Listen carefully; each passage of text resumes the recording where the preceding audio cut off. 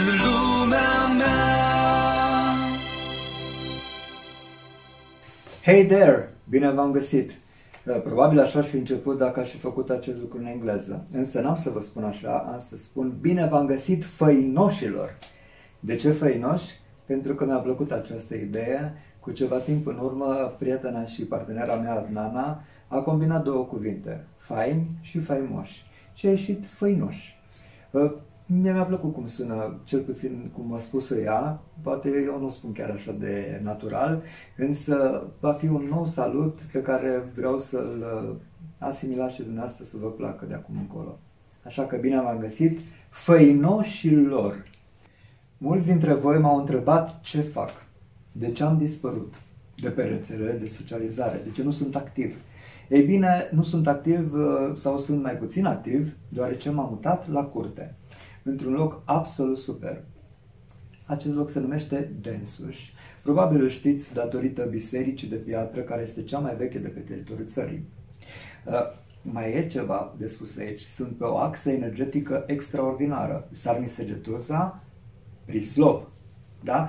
Ei, bine, în această perioadă pandemică, pentru mulți, uh, pentru mine a fost una absolut benefică, deoarece am avut timp să stau mai mult cu mine, mai mult cu familia mea și am învățat lucruri pe care n-aș fi crezut niciodată că am să le fac.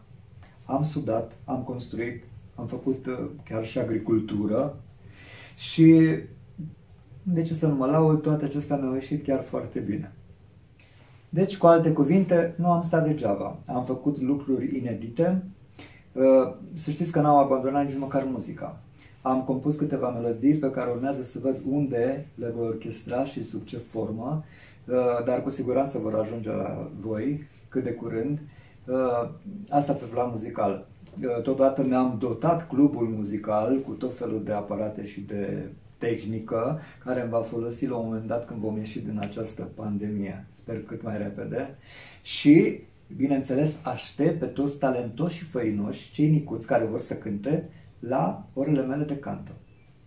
Am ales această zi pentru că este o zi excelentă pentru un nou început, mai ales că suntem în început de februarie, iar februarie este luna mea. Da, sunt născut în februarie, sunt vărsător. Am și eu un defect, ce să fac? Asta este. Sunt născut pe 13. Mamă, pe 13. De ce pe 13? De fapt, nu are nicio importanță, deoarece 13 pentru mine este o zi cu noroc.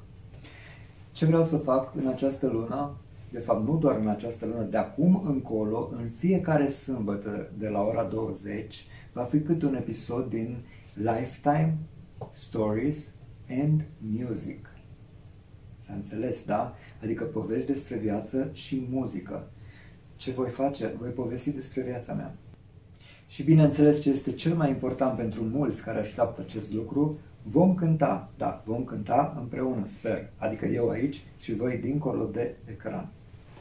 Iar dacă tot vorbim despre muzică, ceea ce mi-aș dori eu este ca voi să-mi spuneți ce melodii preferați. Poate mai vechi, mai noi, nici măcar nu contează. Important este să-mi spuneți, iar eu, dacă pot, voi cânta aceste melodii pentru voi. Acesta este episodul pilot în care v-am spus ce va urma să fac eu la Lifetime Stories and Music iar uh, următorul episod, adică numărul 1, va fi despre tata. De ce despre tata și nu despre mama? Hmm, veți afla la momentul potrivit. Mai sunteți? Sper că da. Cam acestea sunt ideile mele pentru astăzi. Uh, sper că sunt pe placul vostru și ce sper din tot sufletul este ca în fiecare sâmbătă de la ora 20 să ne vedem. Sunteți pregătiți? Urmează să vă cânt una dintre cele mai frumoase melodii de dragoste.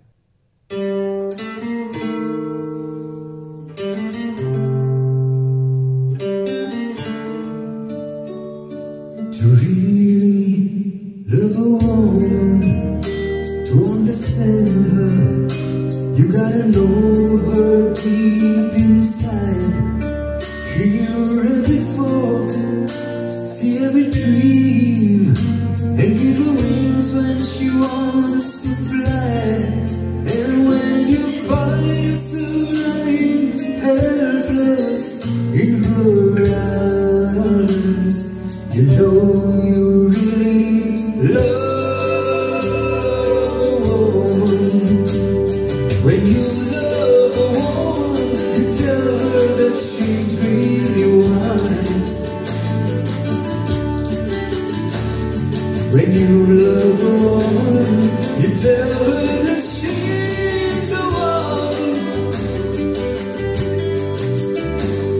But needs somebody to tell her